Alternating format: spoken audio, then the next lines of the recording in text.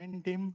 Today, I would like to share the topic about how we transform our payment rules using concept Git as a database. Now you might be hearing that, okay, Git as a database, it, it looks little weird, but it's not new. Many of you are using Git as a database, but we just don't coin that term as a database.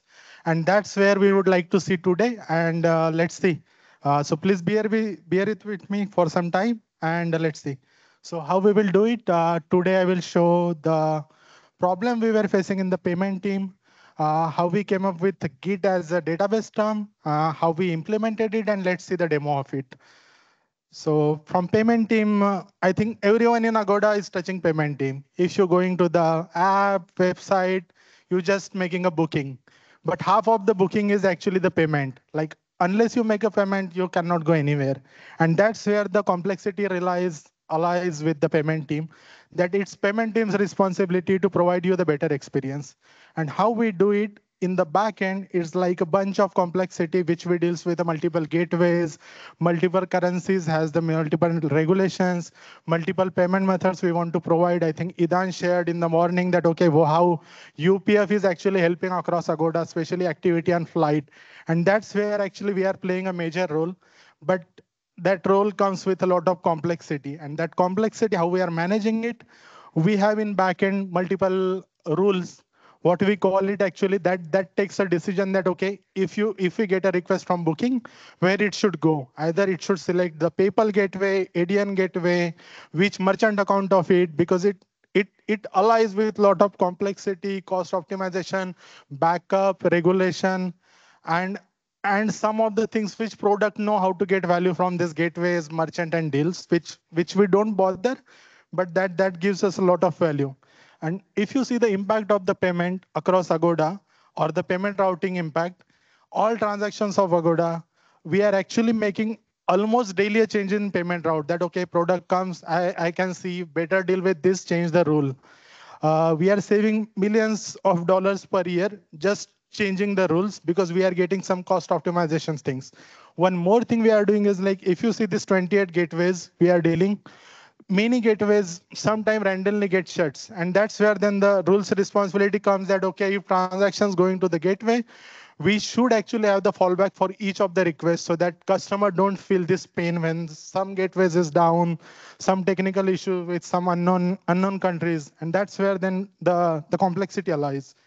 Now, looking at this, what we were doing in future, in previous, I think last last to last year, that we had this traditional rule change process. It's I think everywhere a lot of companies do it like okay we have the rules initially. The rule were small 10 rules one gateway. We started putting in a database.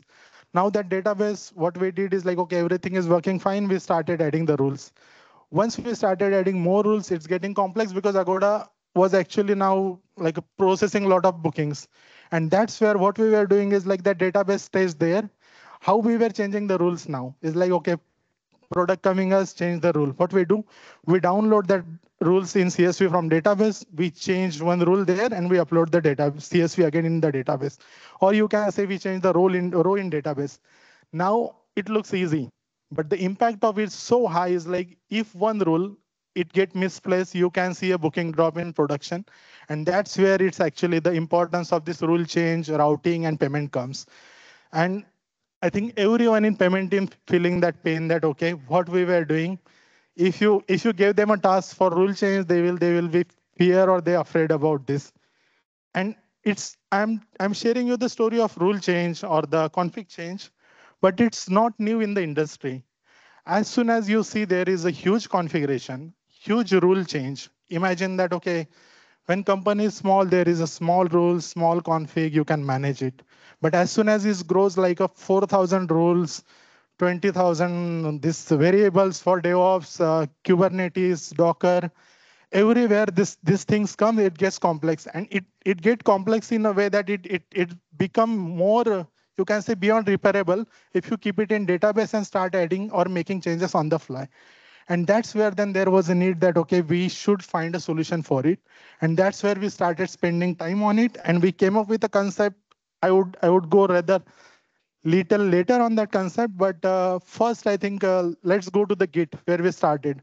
I think Git is not new for everyone. Everyone knows Git like, okay, what Git is providing us. As soon as you see Git, you imagine that, okay, you have the code, you are cloning it or you are pushing some command.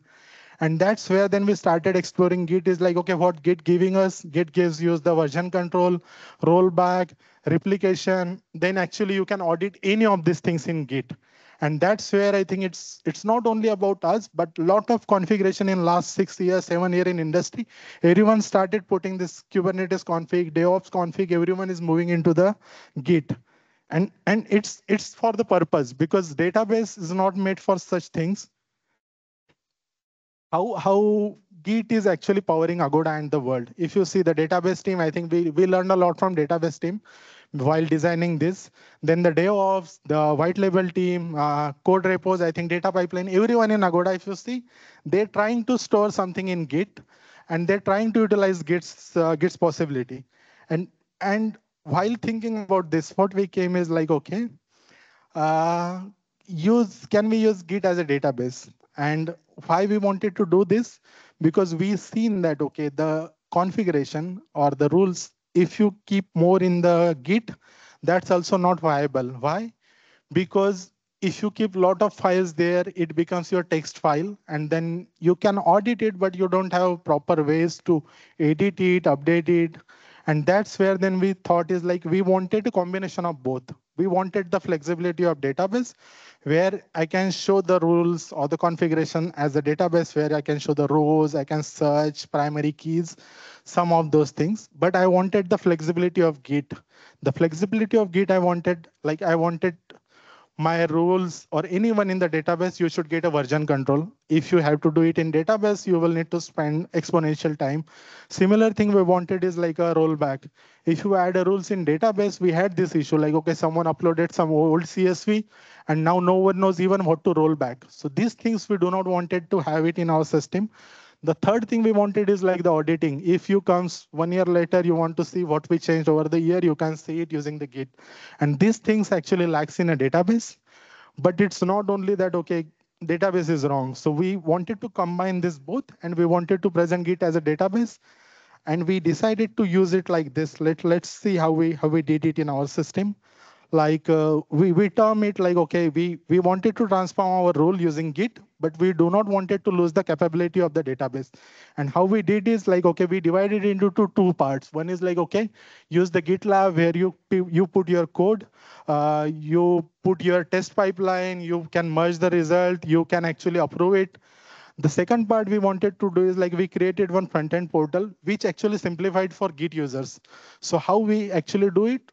Let, let's see in the next next slide uh, that uh, the first part we did is like, okay, we literally mapped our Git uh, with the database, database, you can say the namespace. Like we, we created a folder structure is like, okay, the production, the staging, QA, this will be like your database. Then you create a table around it. Like, okay, payment rule is one table. Then you actually have this activities, uh, flight, hotel, these are the, your record set. Same way we do it in a database, we tried to map it this way. Then there was one problem that, okay, for hotel, we had like uh, all payment methods, the hotel file can go too big. Similarly, the same rule is for activity and hotel. So how we should do it? So we did one logical mapping in our code, and that helped us to present it's exactly the same way we show it in the database let's see in the the one more part we were facing it like it's okay that you we put everything in the database in the git. Now how the user should use it? I think white label devops lot of teams are pushing users to clone the repo add a git commit create a yaml. And this part we wanted to avoid because the files and the rules are so complex. If they clone it they will not understand what to change and this is where we wanted to hide the complexity. So what we purposefully chose is like we we actually do not wanted to go command based, but we went API based and we came up with the idea that, okay, let's wrap everything under the API. So user even will not realize whether you are using internally Git or database. And how we take an advantage of it, I think GitLab's APIs, a lot of teams are using it. And that's actually a great uh, like everything you can do with GitLab APIs, which you can do with a command. And that's, that's I think, the one part which we take an advantage. How we, under the hood, we did it. uh, like we we created one application. We called it like a back office application for payment, where we connected to the Git. And on front end, what we show, we show actually, let me show you something.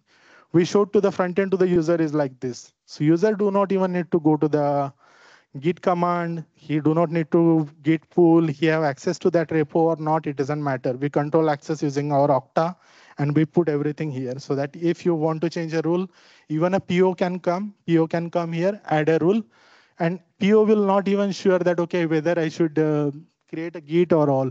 He will get a merge request. I will show it in a demo, but more or less, this is the way we, we presented it. Uh, the second part is like, okay, uh, how we were did it under the hood. Uh, uh, how we did it under the hood is like, okay, if imagine that you want to edit one file, like, okay, you want to add one rule to the hotel. What we did is like, okay, for that, we came up with some logical mapping in our system that, okay, once you once you click a rule, uh, once you click a rule here, like, okay, you create the rule ID payment method. Based on that, we create a file name. So what will happen next is like, okay, based on that, we will pull that file first. Then we will add the rule inside that and then we will commit that file. And we will not commit that file to the master branch but we will commit that to the new branch which you will create. I will show it in the demo how it looks like. And uh, that's uh, that's how we did it. Now let's let's go to the demo i think. That that can be the that can be little interesting. That imagine that okay you you have to change some rule for thailand. Like uh, suddenly po comes that okay for mastercard i'm getting better deal from checkout and uh, i need to change the rule so what he need to do is like, okay, he going to the our back office portal. He's selecting the master branch there. So he will see all the master, master branch rule here. What he will do next is like, okay, he will click on add rule and he will click a rule. He will create a rule there. Once he create a rule, what we will ask him is like, okay, you are creating a rule, but tell us which what is the branch name for you. So the branch name actually will create a ticket so that we don't have to deal with SOX compliance while creating a merge request internally and all of this.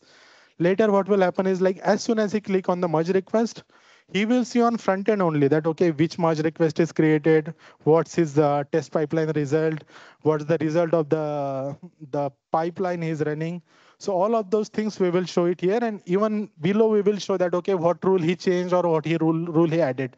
So some of those things, what how it help us is like you completely abstracted your uh, Git using the back office portal and you you don't care whether it's a database or Git while taking advantage of all these Gits.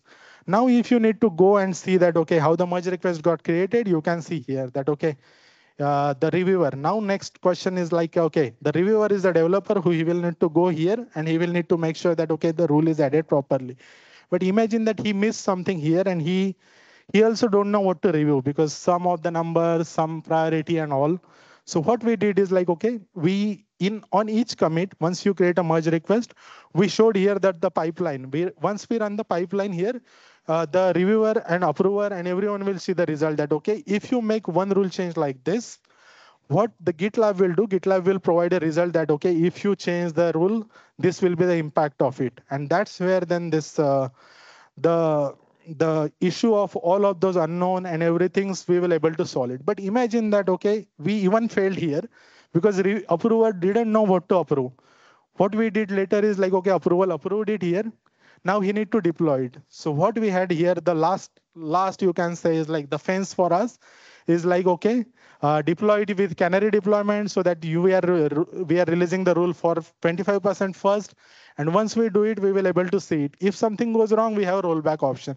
And all of those things we were actually losing or we were not having it when you keep the configuration in database. So wherever you see uh, the opportunity for such things, I think uh, the Git as a database term can can can help you a lot.